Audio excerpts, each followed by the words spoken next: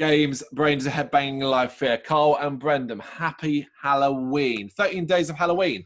We thought we'd do a special 10 things we love and 10 things we hate. Obviously, two separate videos. We are now starting with the love, and it is 10 things we love about heavy metal and rock and horror, the combination of the two, be it heavy and metal, heavy metal and rock in movies, the horror movies, or vice versa, horror movies that have that, that vibe or uh, look, feel. I don't, I don't know, however you want to call it. There are some. There are a few because I, I know a few. But uh, yeah, so there's.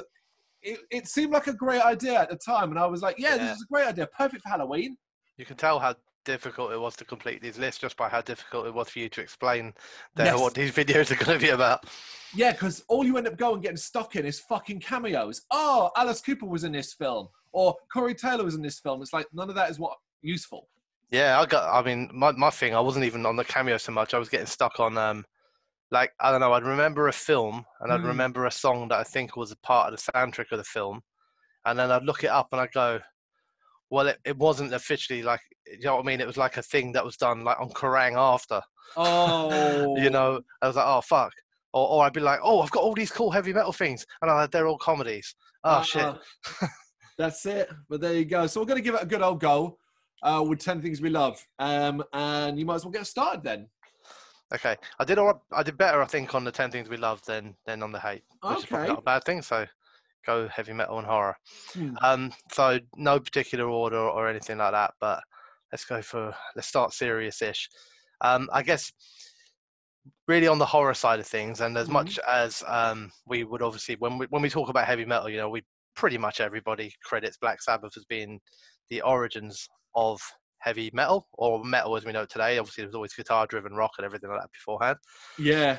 Uh, but then I guess you can also kind of tie that into the horror in that Black Sabbath themselves credit Mario Bava's uh, horror anthology from 1963 of the same name, Black Sabbath, Black Sabbath why yeah. they named themselves Black Sabbath and how they why they started trying to introduce darker, you know, themes into their music. obviously, changing the name from the Polka Tulk blues band to Black Sabbath was quite impactful because I'm not sure they would have had the same, um, you know, impact. A, remember that from a quiz question. Yeah, that was now? from a quiz, wasn't it? Yeah. But yeah, so Black, Black Sabbath was born, heavy metal was born, but I guess in part thanks to Mario Bava and his horror anthology, which inspired Black Sabbath to go on and be darker. So there's your ultimate first connection. That's um that's a really good start. Mine is first. Oh, it gets worse. Lazy. So mine's really simple. It's uh, and it's not like a, it's not an uncommon thing where rock and metal gets on the soundtrack of a horror movie. You'll often find it all over the place. However, when I think of that, I think actually of two specific horror movies which don't just have rock and metal on the sort of soundtrack, you know, like playing in the outro or over the credits where you often find it. They'll, that are throughout the movie during important scenes and stuff like that. And the two that jump to mind for me, right, is 1985's Demons, which has Motley Crue, Billy Idol, Accept, Saxon, all throughout that entire movie. And of course, 1985 is The Return of the Living Dead, which has TSOL, The Damned, SSQ, The Cramps, and the likes of all of that, making up the entire, almost entire soundtrack beyond the original motion picture stuff. Enough yeah. that you can get records, LPs, and so on. I have The Return of the Living Dead on my shelf behind me. So that, that that's my first one, yeah. There we go. Mm. We're doing all right so far. Hey.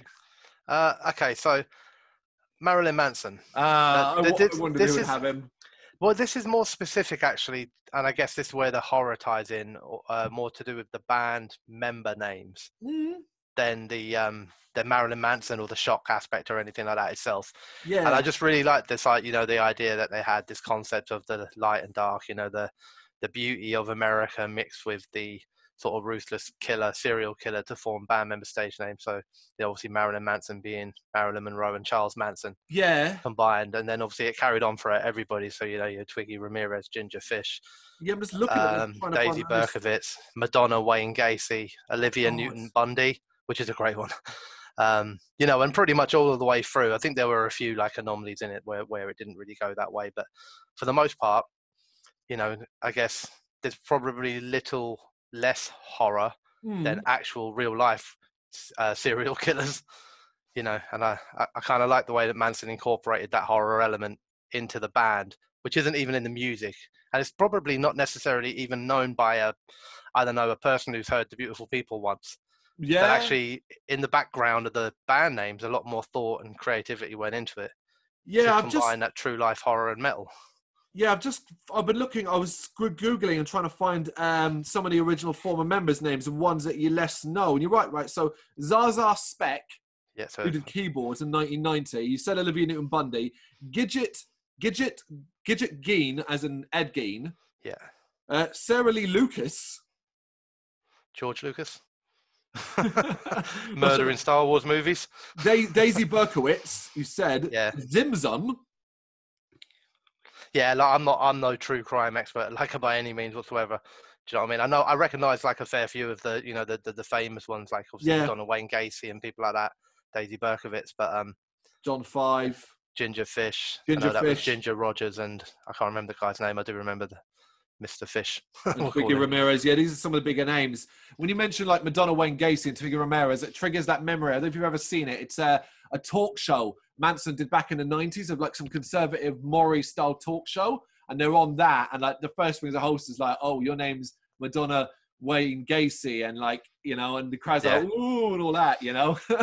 That's cool. it. That's the shit parents were scared of, wasn't it? Yeah, yeah. It's so stupid as well when you think about it. It's but it is, yeah, because like, what they've done actually is such it's so clever because they're not naming themselves after a serial killer. No one's come out there and just said, "Hey, my name's John Wayne Gacy." Yeah. Do you know what I mean? Or Charles Manson. What they're doing is literally, obviously, trying to show the two sides to every yeah country, person, group of people, whatever. You know, there's dark and light in everybody. And how both, in particularly the case of Marilyn Manson, how both were like worshipped in a way by Americana, Marilyn yeah. Monroe and Charles Manson. Yeah. yeah. Uh, my next one's simple, and it's one specific person, uh, a band and, and as such, but we don't think of the band, we think of the man. And it is the man who has made a career out of horror. Not just his music, but his stage show, his persona, and all of that. It is, of course, Alice Cooper. And it's one thing I love is that Alice Cooper has made a career out of shock rock horror, light elements, cheesiness, and silliness to the point where it is, when you think of horror in rock and heavy metal, Alice Cooper is probably a name that even the layman outside would know. Yeah. Yeah, I've seen him. I've seen his shit on stage. I've seen him, you know, fake hang himself, guillotine, all that stuff. So yeah, cool stuff. Yeah, he is an icon. Yeah, that's it. Right, what should we go for? Uh, so I'm I'm gonna just drop a. Like, I think I think I've only got one of these. I know I've got two. Uh, well, I've got three. Just uh, drop a film yeah. that I actually think combines uh, metal and horror, although it's comedy horror um, perfectly, and that is Deathgasm.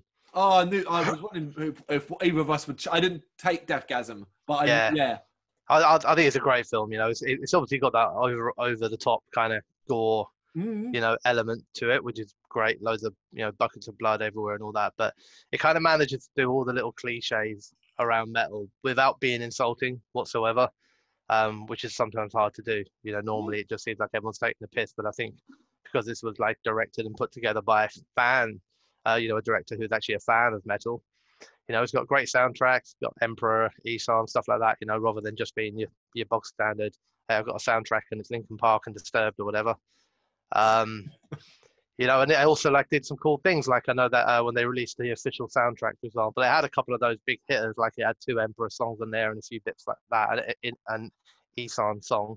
But it also then put like a load of like under or or lesser known kind of bands alongside it. So the CD would still sell because of the Emperor name, but it would also give people the opportunity to hear bands like uh, Elm Street, Skullfist, and Beast Wars. Cool. You know, who also got the feature on it. Yeah, yeah. But yeah. you know, like the fact the geezer that produced and directed, I don't know his name. I should have looked it up, but I'm shit at researching. Mm. but um, you know, he was enough of a fan of metal that he he even saw a way here to kind of plug the underground a little bit. But know, but it's a good film, man. It was uh, written and directed by Jason Jason Lee Howden. His directorial debut as well. Here you go. Yep, yep. Somebody, yeah. somebody does their research. It's certainly one of the better ones. If you're going to talk about a themed horror movie that has heavy metal in it, the very good ones are very few and far between. I've seen some wank over the years. Uh, yep. Like Death Metal Zombie, uh, Trick or Treat, the one with Ozzy and all that in it, which I fucking hated. The 1987 movie, is it? Um, yeah, late 80s anyway, yeah. Yeah, so Deathgasm is a nice surprise, even though I wouldn't exactly call it a classic. No, it's not a classic. It's too it's too new to be a classic, though, isn't it? It's only a few years old, but it's just a decent crack at it. Yeah, you know. Yeah, and it's no easy task.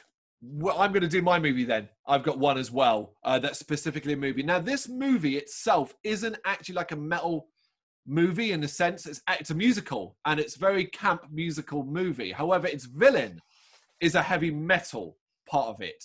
He plays a guitar and riffs and uses it as a weapon. And when he's killing at the end, he's actually playing his guitar at the same time. And it's a heavy metal soundtrack to his music. So it's like when he's on scene, the music's heavy metal, but elsewhere it's all like over the top songs. And also stars Meatloaf, which is credibility alone. It's called Stage Fright. It, it's it's not a remake of Stage Fright from the 1980s, but it is in that family, if that makes sense. It's like a loose, loosely based on Stage Fright from the 1980s, except it's 2014. It's a very, it's a comedy horror. It's got some great songs. Uh, I love the movie. I love it. I love it. I love it. And as soon as I saw Meatloaf was in it, was like, yes, if he gets to sing, even better. But once you meet the villain, who's like, you know, wears a mask, he's dressed like a Japanese villain. I can't remember what they're called, a style of ghost. And the first time you see him pull out the guitar and start singing in about how he's going to kill someone, you're just like, yep, I'm all on board with this. So Stage Fright 2014, that to me is one of my favorites when I think of metal related horror. Yeah. I don't know if it sounds brilliant or terrifying. The minute you look like you say musical at the beginning, I, was, I instantly my back goes up and like, oh, musical.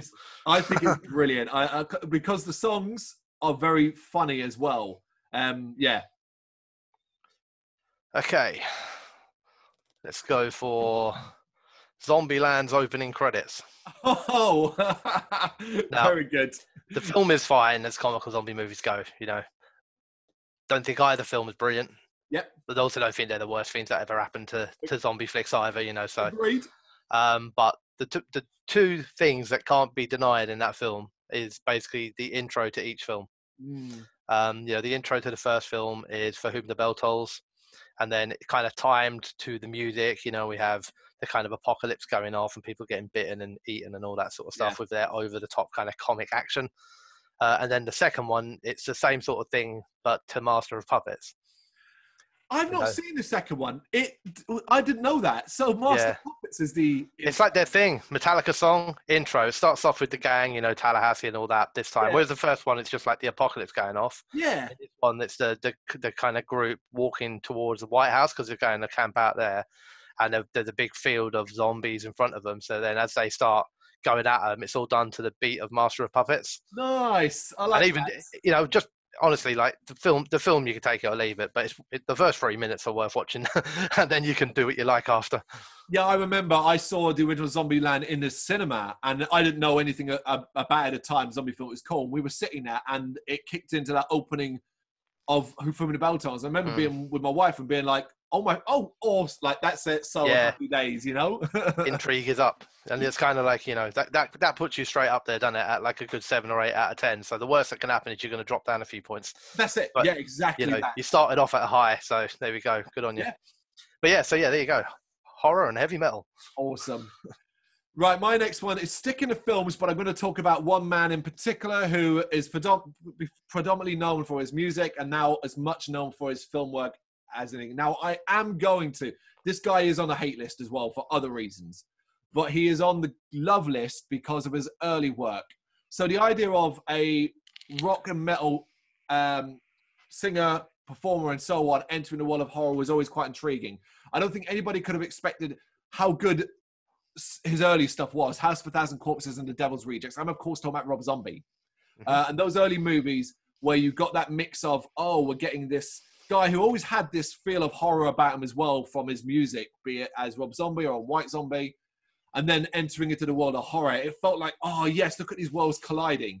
And he yeah. rightfully gained the respect and love for those early movies. We, an important word I'm saying there, early movies, because we will get to the other side of it later in the other video. But for that, that connection, yeah, absolutely. Well, I think yeah. Rob Zombie might be our biggest star in the horror world. Yeah, no, absolutely. I hmm. agree 100%. Yeah. Um, and it's also one of the reasons why he features on my hate list. but we'll, we'll get to that. Yeah.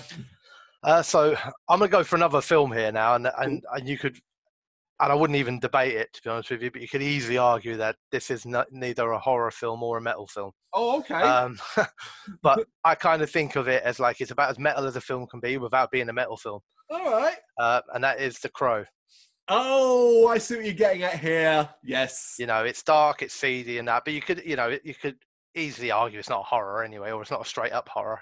It has horror elements. I, w- I would yeah. put it in the thriller category more than horror, but I, I I know we've we've in the metal community we've adopted this movie. Yeah, absolutely. That's what it is. It's our little our little uh, Somalian baby. but um, I do love the film. I've always been a huge fan of the film. You know, it's dark and grimy, and I don't know, really really liked it. But um, you know, it does have some other good things going for a metal wise. Got a sound, good soundtrack, uh, which was all done with like different bands covering things. So like Pantera covered the badge on it, Nine Inch Nails, Cure, Rage Against Machine, Rollins Band. Uh, it's dark, it's doomy, it's depressive, cool as fuck, and uh, has happens to have a guy that pretty much seems to have inspired Johannes from Avatar, you know, as as a frontman at a later date. So go the Crow. Yeah, I would say it's uh, it, um, what's called his name? Uh, I've forgotten his name. Brandon. Brandon Lee. Lee. Yeah. Brandon Lee. He's a he's a he's a goth icon. A goth mm. icon. Yeah. Girls wanted yeah. to sleep with him. Boys wanted to be him. Yeah. You know a few boys converted to probably wanting to sleep with him. I'd imagine. uh, you know, I've seen that movie loads. I haven't seen. I haven't seen it in probably a decade. It might be I, watch. You know. I haven't either. I was, I was actually. It's weird because while writing this, and I was sort of thinking about it. It's one of those things where I, I'm pretty sure I've seen it like, you know, maybe like upwards of ten times in total. And then as soon as I was writing this, I, there was like no no ill feeling to it. I was kind of like, oh, I wouldn't mind watching it again Do you know what I mean? I was actually thinking, oh, I might watch that again soon. I haven't yeah, seen yeah, that for a long time. You know, it's a, it's a good film. I think it is a true classic. Yeah, it'd be interesting to see how well it holds up as well with your modern reviewer mind. Yeah, yeah, I do think like it's it, sometimes these films that are shot in the way that they are, which is it's always dark, it's always grainy, and it's always raining, and mm. you know that sort of thing. It kind of it kind of helps, doesn't it? Because it doesn't seem to age as badly over time. Yeah. It just remains dark and grainy. It does. Yes, you know? that's that seven look where it's yeah. rainy and grim. Yeah. Yeah.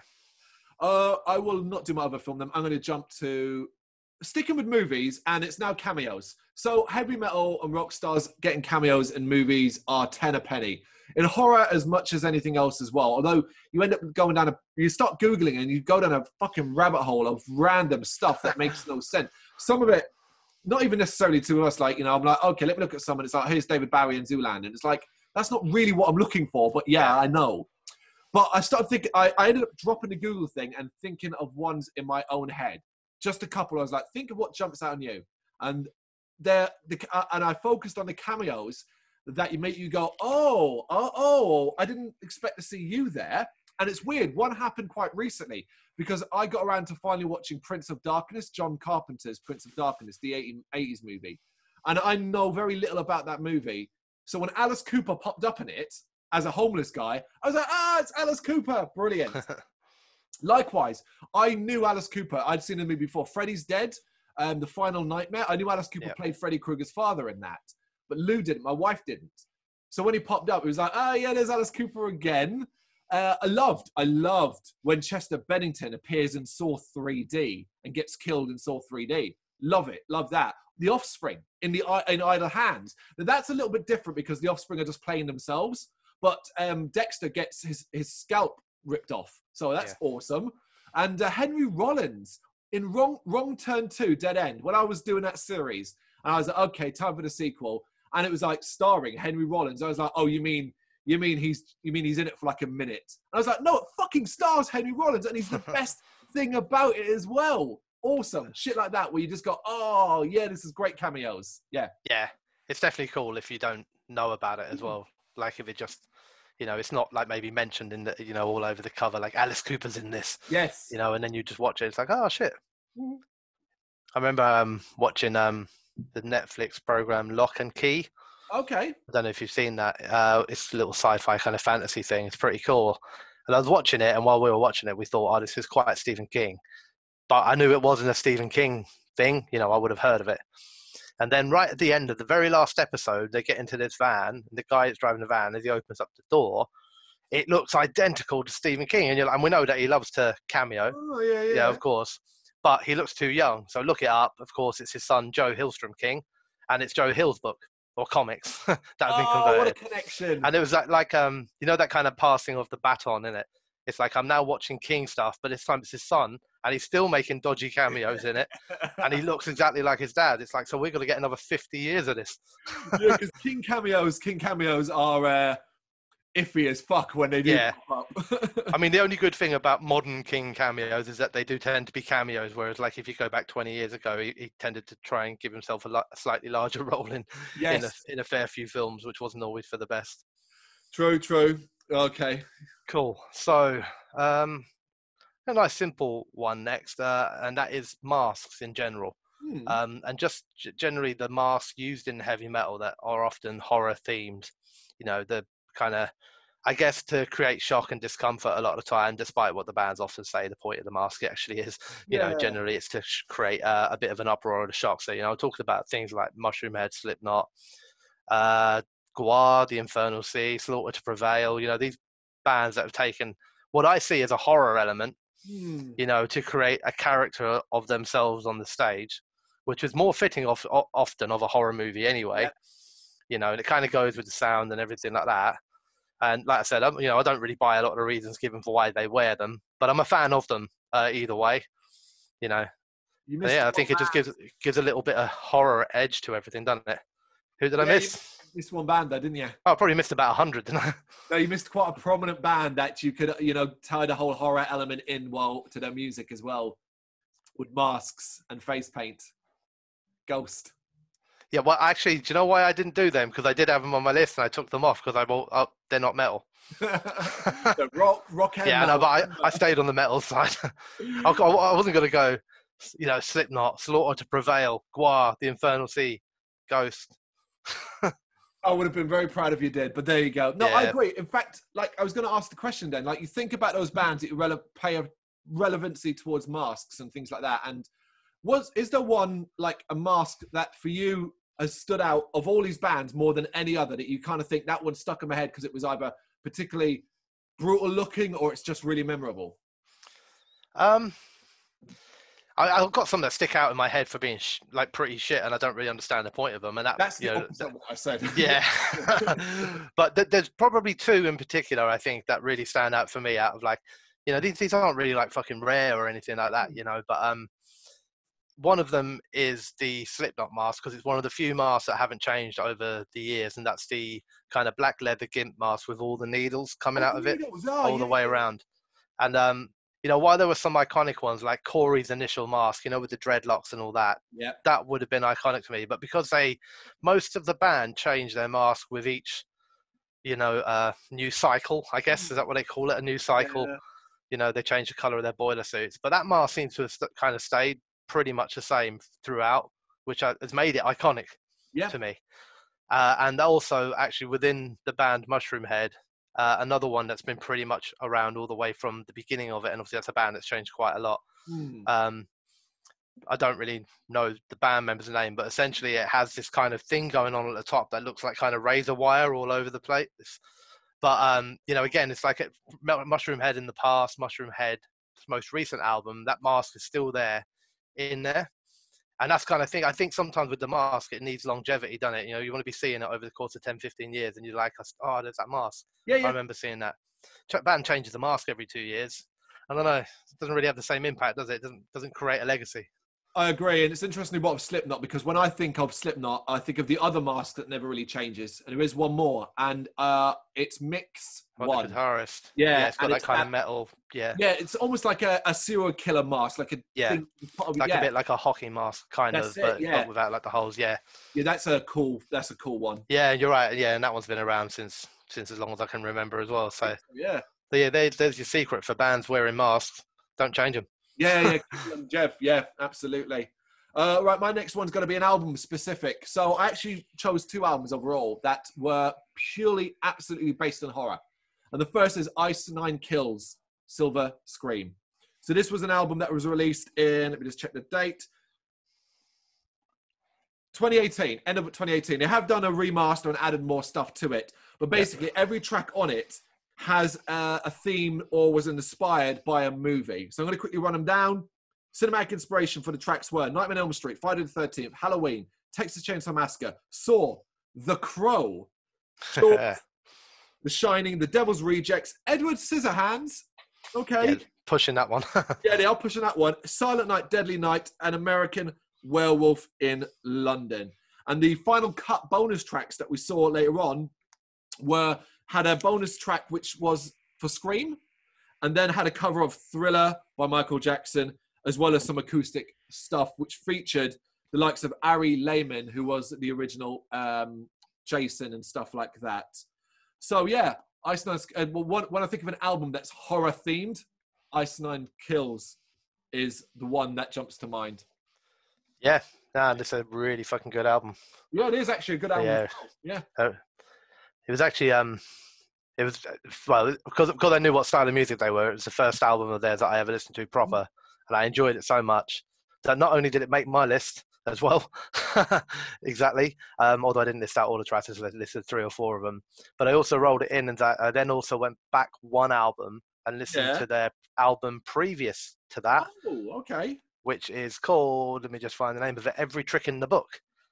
So, as you can probably imagine, with the silver screen being film, every trick in the book was the exact same thing, but on their favorite horror books. Really? Yeah. Oh, I've, got to get, I've got to go look at this. It's really good as well, you know, and it's got like a lot of the stuff that you would like. I guess you would probably typical to, to kind of expect, you know. But mm-hmm. alongside that, it's got it's got things like um, songs on Carrie, songs on Alive, songs on The Exorcist.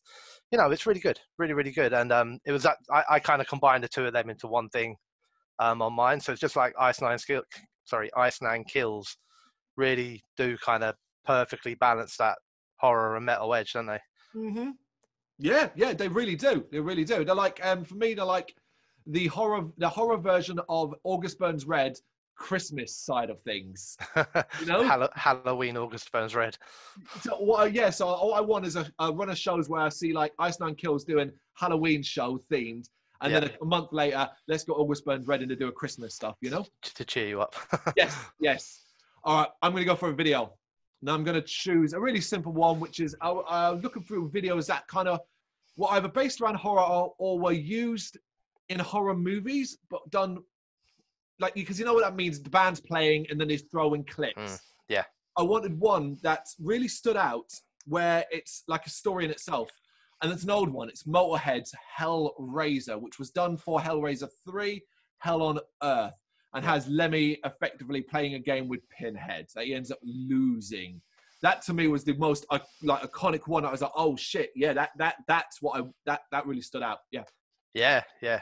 As a song, I mean, that song features Lemmy, Ozzy, and Zakk Wylde on it. Yeah, so three fucking titans, yes, you know, yes. of rock and metal there. Over time, man, certainly over time, it aged fucking terribly. The video. Yeah, I bet it has. All right, uh, I'm gonna go for a video as well then. Um, and this is, I, I guess, a band I, I grow into love more and more and more. Even though I loved them when I was young, I didn't care for them in the middle, and then fell in love with them again recently. And that okay. is Mushroomhead.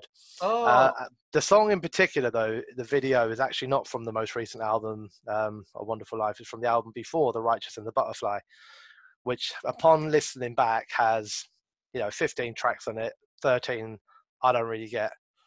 you know, but it's got a couple on there that I really like, and one of those is called "We Are the Truth." Mm-hmm. Now, the video to this song is fantastic. So uh, it, it kind of like, um, where am I? So Jackie Laponza, the female who wasn't part of the band then, but was kind of like a cameo person. She's like the main sort of singer in it, yeah. and they do uh, "Evil Dead." I wouldn't say it's a parody because it's done with respect and yeah. with horror you know, but it's essentially, you know, Mushroomhead in all their gore and masks and everything like that, in and around the cabin in the woods. You've got Jackie Laponza head coming out of the basement, you know, that sort of stuff. It's um it's a really, really wonderful take on Evil Dead, like done really, really tastefully. You know, not not a piss take, but a nice homage to to the horror side of it.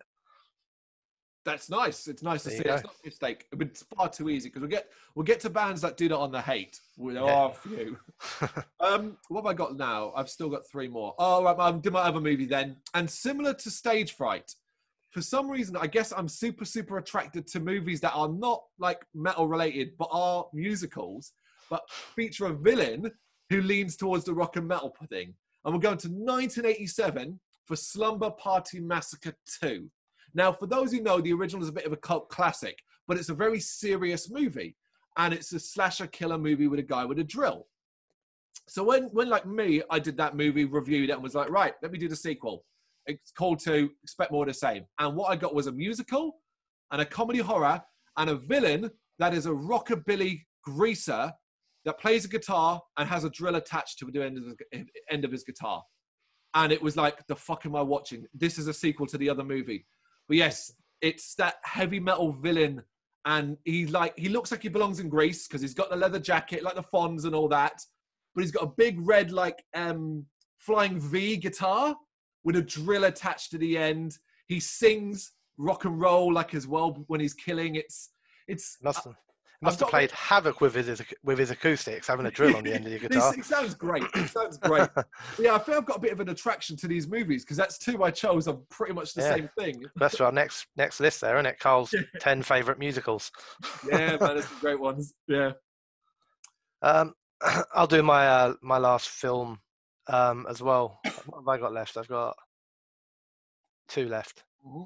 Have I? Yeah.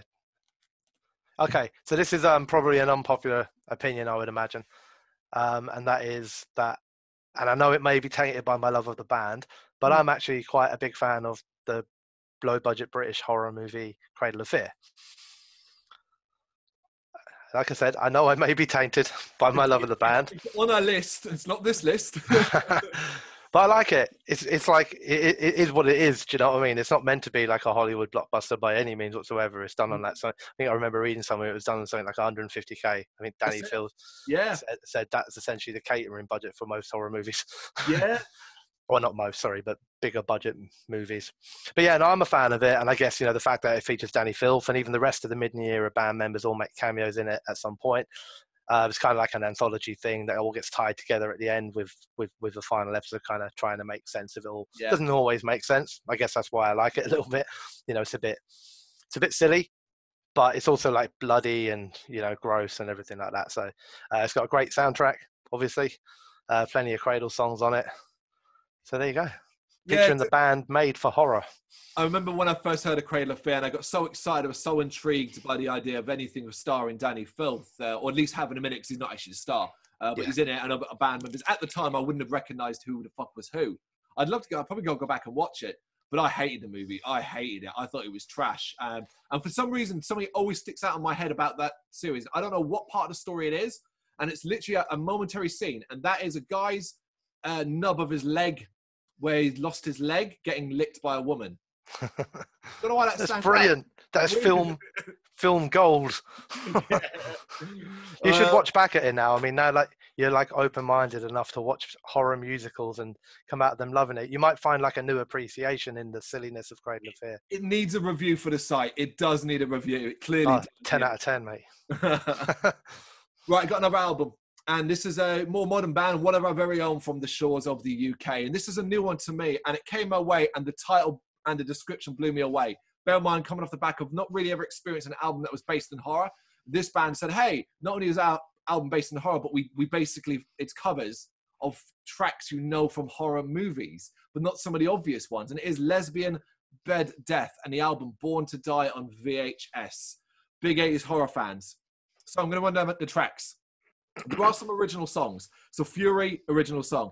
Then we get Dream Warriors, which was originally performed by Dokken for Nightmare on Elm Street 3. Uh, you Can't Hide from the Beast, which is from Fright Night, done by Autograph. Scream Until You Like It, which was originally done by Wasp for Ghoulies 2. Pet Sematary, which was originally done by the Ramones for Pet Sematary. Hellraiser, the Motorhead one from Hellraiser 3. Uh, Party Time, one of my favorite movie songs, Party Time Zombie version by 45 Grave from The Return of the Living Dead. Lost in the Shadows from The Lost Boys, covered by, uh, done originally by Lou Gramm. He's Back by Alice Cooper, the man behind the mask from Friday the 13th, part six, Jason Lives. And uh, the last, Power of the Night, Johnny Steele from Critters. Now, if you know Critters, and you know you know Power of the Night, and that's fucking hilarious that they did that. Then you get Flesh and Born to Die in VHS original tracks, and a bonus track called Heartbreaker, which is a cover of Heartbreaker. It's a brilliant album. It's a lot of fun, and the covers are fucking excellent. Excellent covers. Yeah. There you go. Uh, yeah, there's a lot of um, oddities in terms of films mm-hmm. there. like you said, not the obvious ones. No. Okay, so this is my last one. Uh, and I've gone for a band uh-huh. in particular, and this band is Gwar. Oh, okay.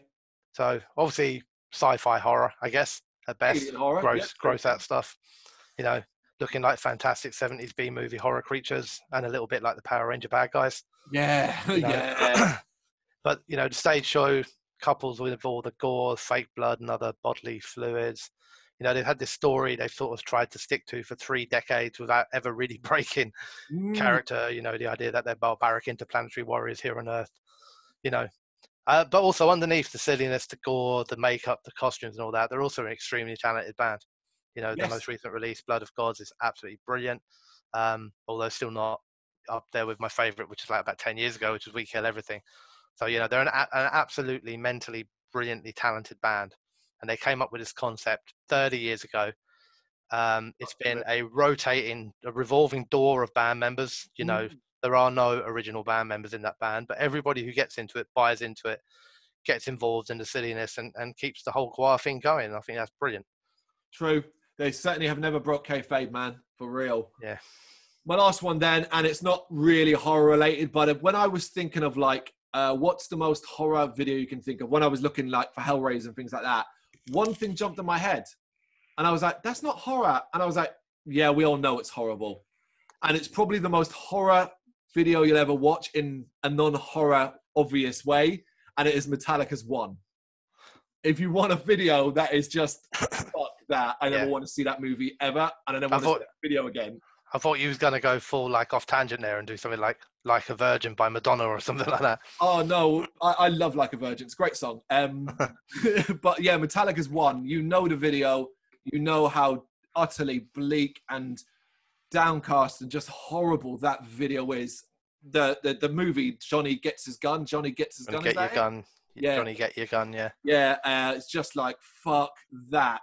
That's, yeah. that's horror. Yeah, the horrors of war.